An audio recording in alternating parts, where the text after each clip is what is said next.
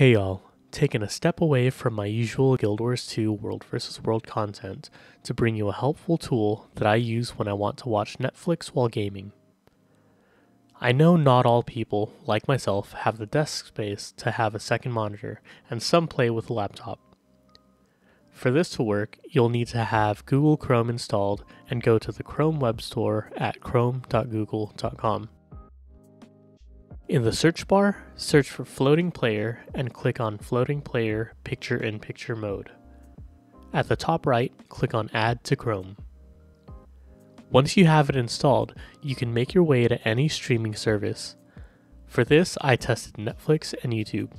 Both work great.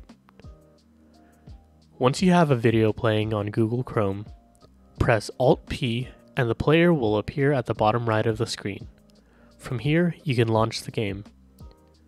The window can be easily dragged and resized so you can move it out of the way for any UI that the floating player might be blocking. I tested this with four games, and it worked flawlessly with Guild Wars 2, Disney's Dreamlight Valley, and Minecraft, but for some reason I couldn't get it to work with Stardew Valley. I even tried it in windowed mode, but no luck. If anyone knows a fix for this, feel free to leave it in the comment section below.